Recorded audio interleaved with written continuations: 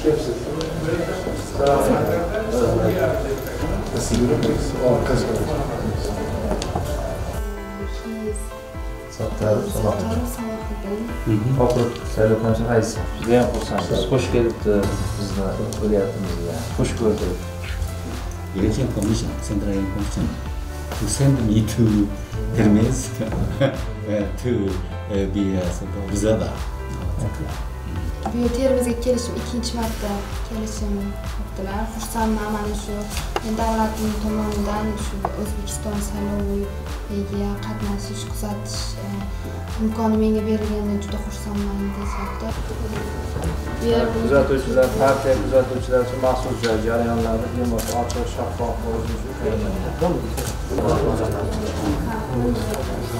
see our election how it is men o'zbekiston respublikasi prezidenti saylovida xalqaro kuzatuvchi sifatida ishtirok etish uchun yaponiyadan keldim. Toshkent shahrida xalqaro konferensiyada ishtirok etganman. Termizda esa ikkinchi marta bo'lishim. Bu tarixiy shaharga yana kelganimdan juda xursandman. Bilasizmi mazkur shahar butun dunyoda o'zining boy tarixi bilan mashhur.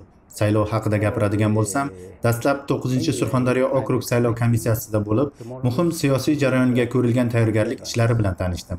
Bu yilgi saylovlarda tayyorgarlik o'zgacha. Men ishonamanki saylovlar orqali o'zbekiston xalqi mamlakat rivoji uchun yangi o'zgarish yangi yo'lni tanlash imkoniyatiga ega bo'lishadi.